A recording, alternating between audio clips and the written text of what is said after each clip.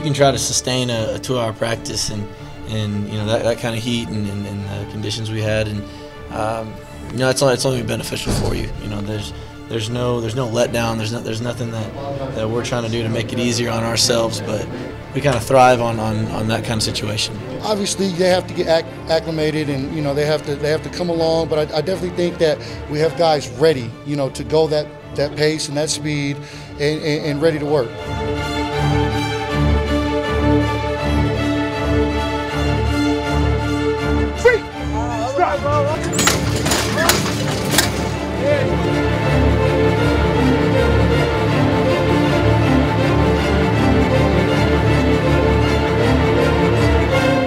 There's definitely a new swagger. I don't want to sound cocky or conceited at all, but there's definitely a more of a want. You know, there, there, there's a feel that that we we don't want to win. We need to win. Like we have to win, and and I think that's circulating around the team.